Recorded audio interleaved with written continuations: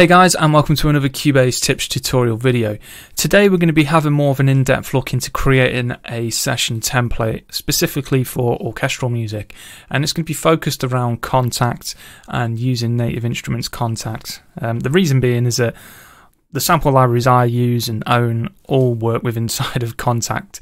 Um, it's a very powerful engine, and a lot of developers create loads of products to work inside of the Kontakt engine.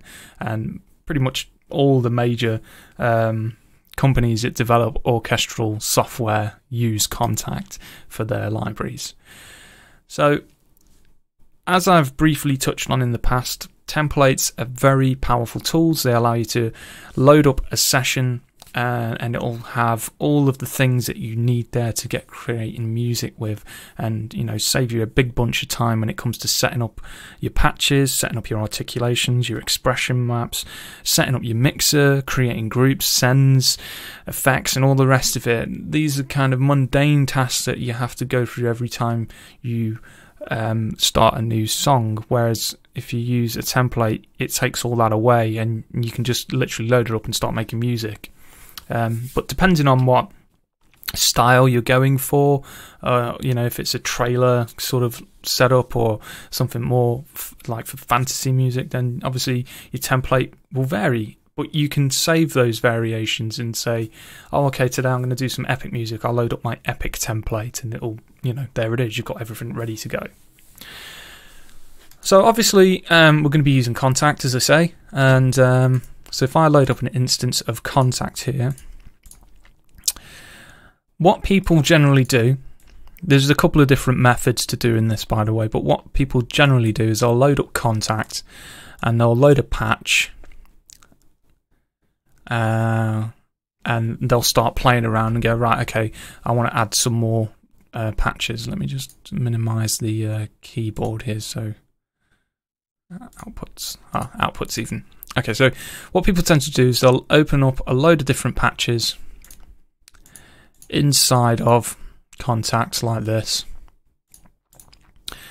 And as you can see already, Kontakt already automatically changes the MIDI output. So there we go, let's load this last one for the strings.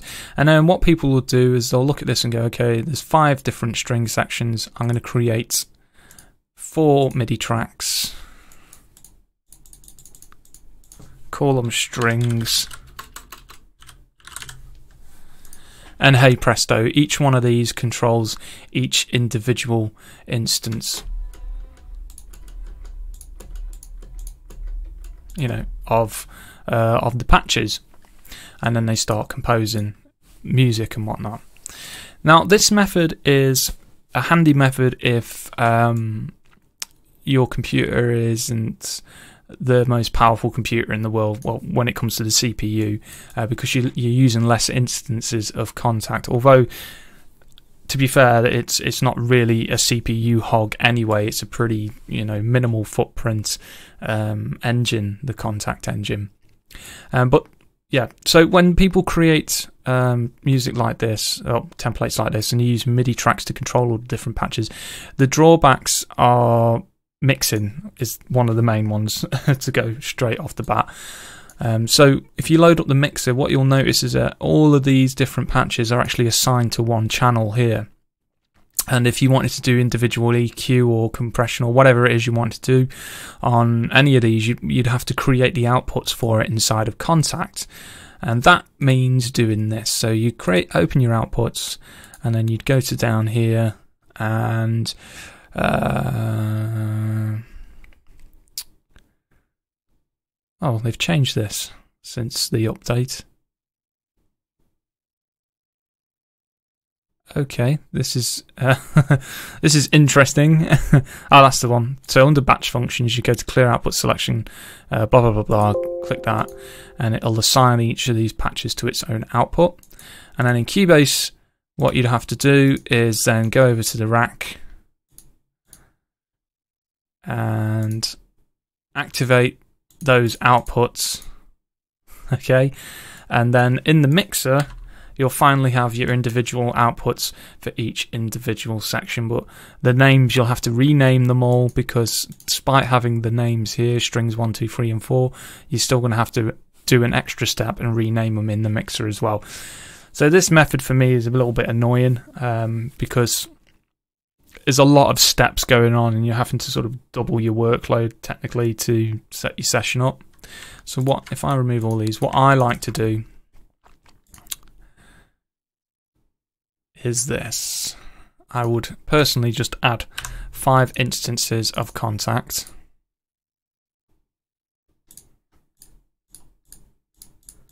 And then load a patch on each instance. That way, it automatically creates the channel for it, and when you name it, it's it's gonna you know it's gonna change in the mixer. Stings.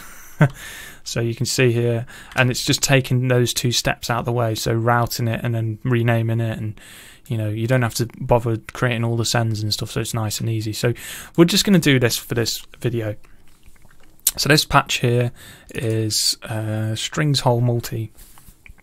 By the way, I'm going to be using Orchestral Tools Inspire for this because I've already got a lot of expression maps I've made for this library already, so it just cuts down a little bit of time on the video for you. So, excuse me, first of all, strings. So let's call this strings. I need to move my keyboard. There we go. We can call that strings whole ensemble. Uh, the next one we'll call uh, strings. You can even copy these values as well. Uh,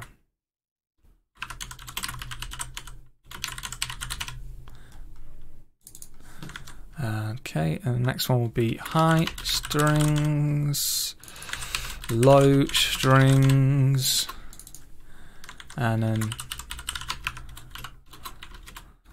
and Okay. So now I need to load up the patches for these individual ones here. So I'll open this up. First chair. Same for this one. Uh, ooh, high strings for this one. And then low strings. And then violins 1 and 2. Now, as you can see here, these have got key switches on. Now, this is another thing that you need to take into consideration. Are you someone that uses key switches, or are you the kind of person that likes composing and having each individual art articulation loaded as a patch? I like working with key switches personally. Um, and it does take a little bit longer to set up in all honesty because if you're using key switches you really want to be using expression maps um, because it's once you've got them set up it's so much better uh, and so much more uh, user friendly than it is to use MIDI notes to control different key switches um, but yeah if if if you want to do that method yeah more power to you. It's going to take a little bit longer to set up. Um, but the other method, which is a little bit easier, is actually just loading all the individual articulations as separate patches. Um, reason why I'm doing it as key switches on this video is because it just shows you um, how you go about making the expression maps as well, so you get a better idea. So here we've got the uh, strings. So I'm going to give them a colour. Call them a nice colour green. Um, now what I want to do with the mixer for my strings here is I'm going to send all these to a group. So I'm going to select them all by holding shift and clicking the first and clicking the last. Right click and then go add group to, to selected channels. And then I'm just going to call this group strings. Now what this does, it basically all the all these will be sent to one channel. So now I can I can put a reverb on this channel and um, you know I have the wet and dry feature on the reverb I use. I like to use Valhalla Vintage Verb on um, my orchestral templates. There's loads of different reverbs out there. I mean, another good one I like using is by Waves, uh, which is their H Verb. That's another good plugin to use, but um, I kind of like the sound more for orchestral stuff with Valhalla Verb, so I tend to use that. So as you can see here, this this is the main master group fader for all our strings basically. So when we control this, it turns the volume down of all of these, but it also acts as our main group for applying any processing um, across all of the strings. So it's good for adding your reverb on basically. So now we've created the string sections, or if you've loaded all the individual patches and you've coloured them all green and then sent them all to a group. Um, next thing to do would be to create the other sections of your orchestra. So let's load up another four instances of Kontakt here. Oh, I forgot to add Kontakt to those.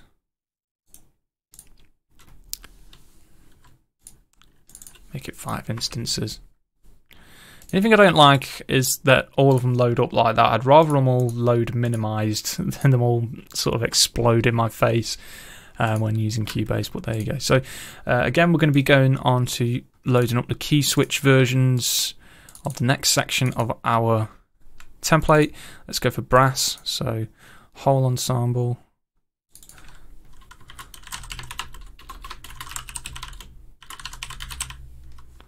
Just copy that brass, and then the next one will be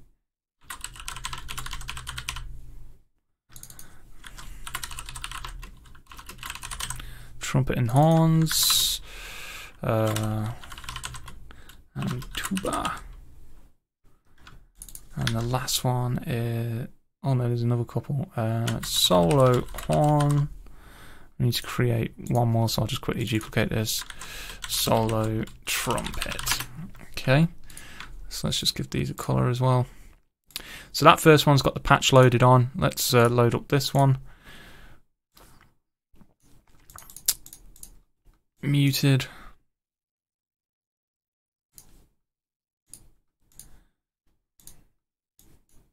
And you get the idea of how this works. You, you sort of you first load all the patches up that you want in your template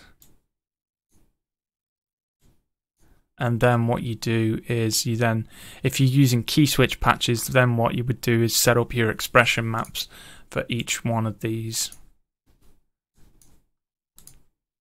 But as I say if you don't use expression maps and you just load up the individual articulations it actually is a lot easier. Um, just depends on how you like to work if you have all the individual articulations loaded, you'll find that you'll have just way more track count, so it can be a little bit confusing trying to find things. So it's a good idea to name them properly. So you can use the quick search function inside of Cubase to try and find anything in particular.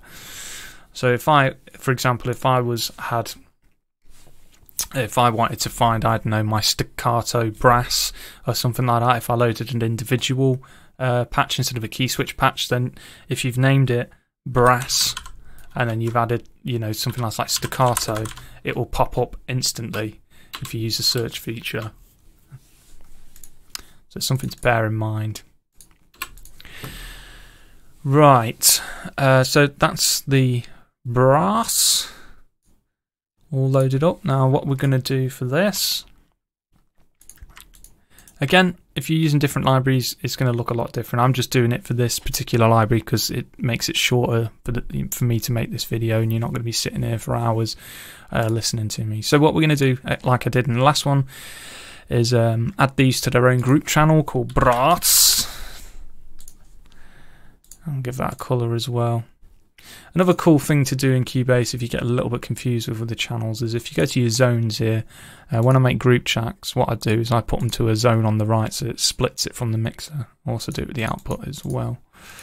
And it keeps them separate to these on the left so you can sort of differentiate between them. And then I'm just going to copy that reverb onto there as well. Um, so it's all ready.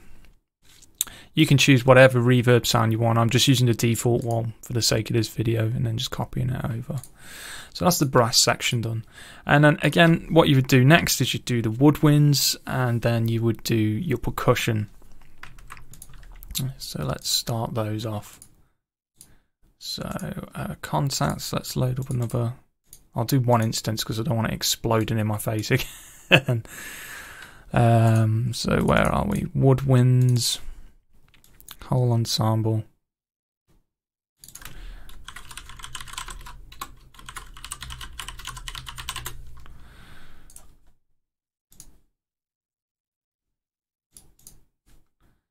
And what I'll do, I'll just duplicate on because it makes my life easier.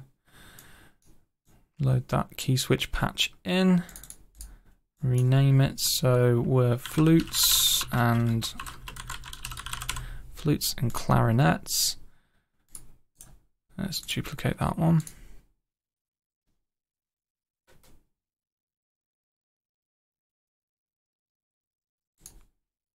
You'll notice my PC will do that sometimes where it sort of loads. It's just because I'm, I've got a billion different things running in the background and it's just sort of thinking between them.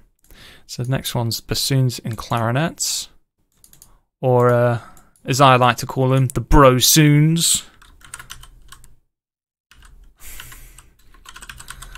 The brosoons and clarinets.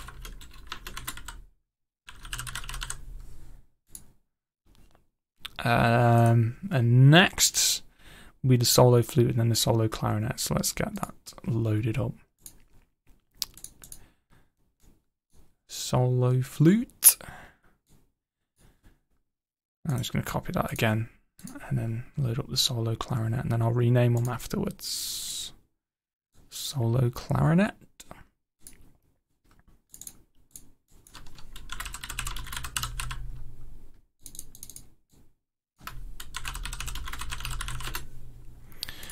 Right, let's give these a colour. Let's give, oh, let's give them a a, a grey. Grey? That's not grey. That's brown. let's give them a brown colour. And then what we're going to do again is we're going to send these to a group like we've done with the other two in the mixer. So right click, make a group, wood woodwinds, and then set that to the right of the mixer with the other stuff, and we'll give that a brown colour as well and copy the reverb over. And then finally, we want to work on the percussion. So let's uh, instrument Kontakt five. Let's load up five instances again. Wait, wait for it. I really dislike how it does that. They should change that. Okay, now the percussion. Now, percussion, gen- well, depending on the library, it might be single articulations, or you know, it's rare that you get multi articulations key switches for percussion. Uh, percussion. So, what have we got here? We've got percussion essentials.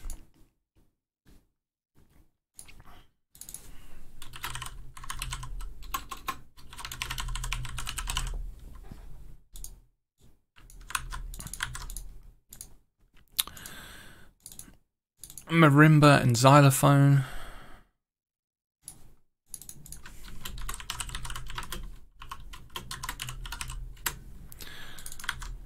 Uh, what else we got here? Glockenspiel.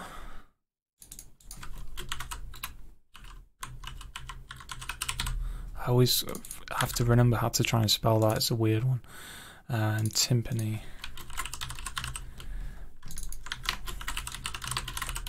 Now, I know there's two different timpani patches on this particular library, so um, we're going to load those up. So timpani hits and timpani rolls. Okay, that's the percussion done. So we're just going to add a collar to them so we can see the individual sections here and then we're going to load up the mixer and do the same thing again where we send them all to a group and then assign that group to the right give it the color and copy the reverb over just like that now you might be thinking well why don't you just put reverb on the master channel reason being is that um, it's nice to use sort of subtly different sounding reverbs on the different sections. It just gives it a nicer colour than just using the one reverb across the whole template. Uh, that's just my personal preference. You can do whatever you like, but you can see here already we're starting to build up this quite nicely. I'm just going to turn off the stereo in so it's not there. Now, if you want to go one step further, let's say you've got a lot of if you're if you're doing the articulation method where you're not using key switches and you have a lot of tracks going on. You you know you probably have triple the track count that I have now for all the different patches. What I'd recommend doing, uh, recommend what I would recommend you do is use folder tracks. Uh, fo- oh my god! What I would recommend you do is use folder tracks um, for um, organizing it a little bit more. So to make a folder track, just select the channels that you want to go in the folder right click on it and then go move uh, selected tracks to a new folder and then you can call this folder whatever you want it's also good to do if you're using different libraries um, so you know that oh okay this is uh, my Heavyocity percussion or this is my 8Dio percussion or whatever it is. Um, it's a good way to sort of organize them. And it also has a benefit in the mixer which I will show you in a second. I'm just going to do this to all of them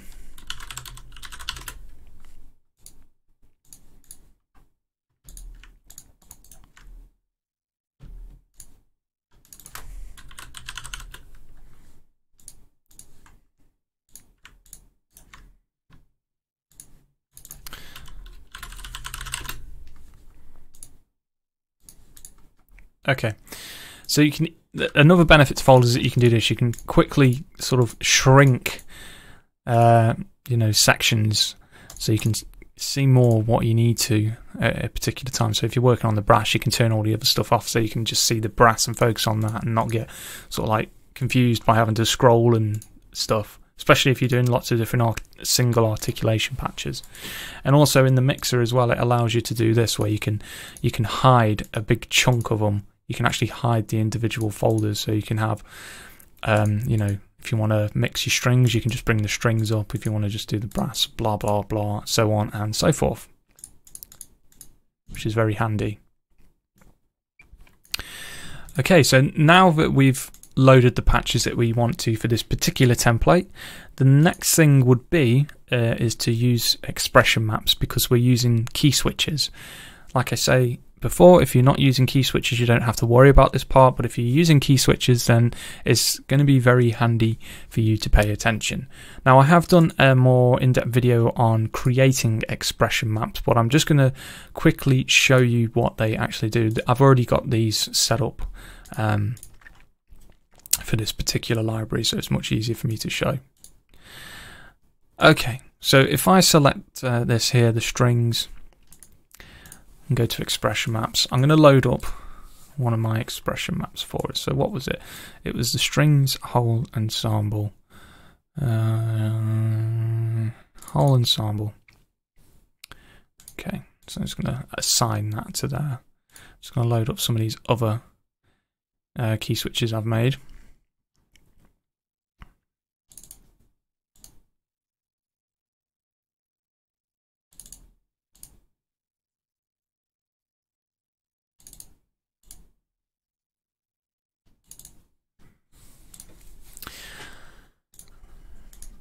So this one's the first chair violins. This one's the high strings, low strings, violins one and two. So, in a nutshell, what what expression maps do? I mean, obviously, watch the other video I've done on this because it's a bit, it's going to be a lot more in depth, and I actually show you how to create your own expression maps. But once you've created them, um, when you're making your templates, it just makes life much easier if you are using key switches. So if I was to um, create this MIDI track here, normally what you would do is you'd be you'd be scoring stuff in, uh, and then you'd be scrolling down to find where the key switches are while you've got the actual uh, uh, patch open in Kontakt. You'd be going, okay, so they're down here somewhere. I need to figure out where they are, and uh, some developers don't tend to map um, display what the key switches are, which is a minor annoyance for me because it means you've got to find it yourself. Uh, but I've already gone through all that and created the key switches for this particular one. Um, for the expression map. Um, so yeah, what expression maps basically do is they allow you to just activate the key switches using this lane here. So you can see I've got my sustains, my spiccatos, my pizzicatos, and my tremolos for this particular patch. And all you do is you just draw in where you want the key switches to happen, and they will happen, and it will change the sound and load the different patches up instead of having to use CC data to try and you, you know activate the switches. It's a lot a lot nicer method, a lot easier method um, to use once you've got it set up. It just saves you a lot of frustrations. And then if you want to do things like transpose it up, a, you know, half a uh, tone or a whole key or something like that, listen to it in a different key, you can just move the MIDI and you don't have to worry about moving the key switches. So win-win. Okay, so once you've got um, your expression map set up for your patches. I mean, I'm for this particular library, I'm going to make this a free download. These expression maps for you guys. I'll put a link um, in the video description so you can download them for free um, and use them if you have Orchestral's tools Inspire. But as you can see here, um, yeah, we've got the basics set up. Now, the, yours is going to be slightly different because depending on what libraries you use, what patches you use, and all the rest of it, your template will probably be a lot bigger than this. I know my personal template is pretty massive because I've got a lot of stuff loaded up, but this is just generally how it looks when you organize things and you create your templates. Um, the next stage, once you've got everything the way you want it to, is actually just go to File and Save Template As, and then just give it a name. So then, when you um, when you want to start a new session with this particular template and load it up instantly, you can just create a session from template and select that one that you've you know you've just saved. Now, what we're going to do is we're going to go one step further with this. So we've got the mixer here. Let's just turn off some of the stuff we're not really going to need to use, the rotating equalizer channel strips. Not really going to use those. What I'm going to do is go one step further. Now, if you know me, you know I like to make track icons for things and um, I have quite a lot of track icons available on my website that you can buy um, for this kind of stuff. So what I'm going to do is I'm actually going to go one step further now, and I'm I'm going to use my whoa use the track icons to sort of differentiate break this up a little bit more and make it a little bit easier for us when we're in the mixer. So so I've got it on my other screen here. I'm just trying to find the right thing. So percussion. So we've got the percussion essentials, which is pretty much all the percussion. So I'm going to use that icon on there. I'll bring them over here so you can see uh, what's happening.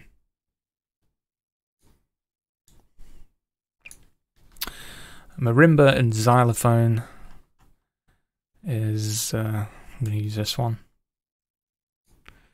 Use the Glock. And then for the timpani, I'll just use this. I've got a hit and rolls icon dedicated to this.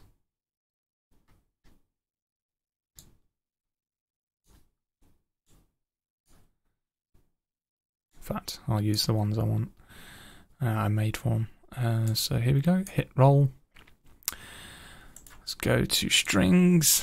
What do we have? Whole ensemble all strings. So let's put that icon there. First chair, uh, there it is. Let's stick the first chair in there. And second chair, oh, high strings. There is a high strings one. Stick that there. Low strings, stick that in there. Uh, violins one and two. That's the right one. Stick that there. Okay, next is the brass. So we have all brass, which I chuck that on there for. Next one is muted ensemble. I can just use the same icon again. Trumpets and horns. Stick that there. Uh, trombones and tubas. Solo horn solo trumpet. That's a piccolo trumpet. Uh, solo trumpet. Right, let's put some icons on the woodwinds here. So, whole ensemble, uh, flutes and clarinets, bassoons and clarinets. Where are you? There it is. Solo flutes and solo clarinet. So the good thing about using icons like this, guys, is that what it will do is when you open up your mixer, if you've got a lot of different articulations going on, that's where all the named icons come in handy. But when you've got a lot going on in your mixer, if you open it up, you'll notice straight away your eyes are drawn to the pictures and not actually the bottom where the labels are. And another thing is as well, depending on how long your name tags are, they get chopped off in the mixer, um, which is a shame. So this just gives you a better re- visual representation of each patch, so you can go, oh, okay, no, that's uh, the master ensemble percussion, marimba, xylophone, xylophone, oh, glockenspiel even, um, and you've got your timpani hits and stuff, and then you know which the violins are which, if it's the lows or highs or the first or second chairs, you know what brass. You know, it, it just it makes it a lot easier, gives you a better visual representation of what you're doing, even when you've got it sort of zoomed out a little bit more like this. Just gives you something to go off, which is nice.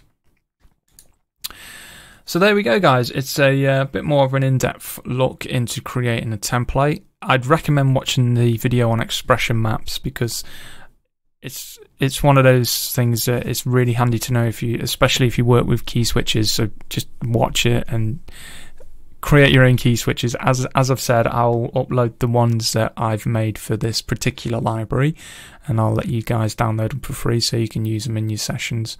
Um, as always, guys, thank you for watching. I hope you found this useful and um, creating your templates, and I'll see you guys in the next video.